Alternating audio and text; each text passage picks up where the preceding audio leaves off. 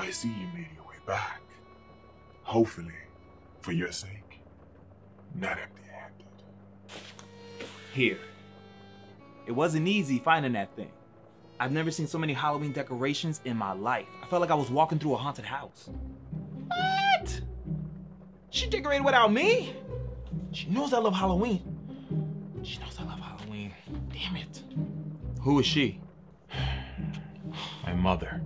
I went through all of that just to break into your mother's house? She's upset with me because I told her I hate Christmas. Let's stay on track. Now, where were we? ah, yes. The snow globe. What's so special about that snow globe that you had me steal from your mother's house?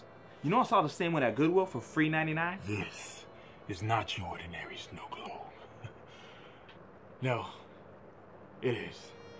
My mom actually got it from a Goodwill. Huh? Wait, what were you doing at a Goodwill? Let's just stay on track, okay? There, all done. She's gonna be so upset when she goes to play it. Here, now return it. You took the batteries out? Yeah. Why didn't you just tell me to do it there? Where's the fun in that? Muscle, pay the man. Well, why are you still standing there? Go on. My mother will be home soon from her pole aerobics class. All right. So, how did I do? How was my acting? Was I believable? It was pretty bad. I, I wasn't convinced. Was it the makeup?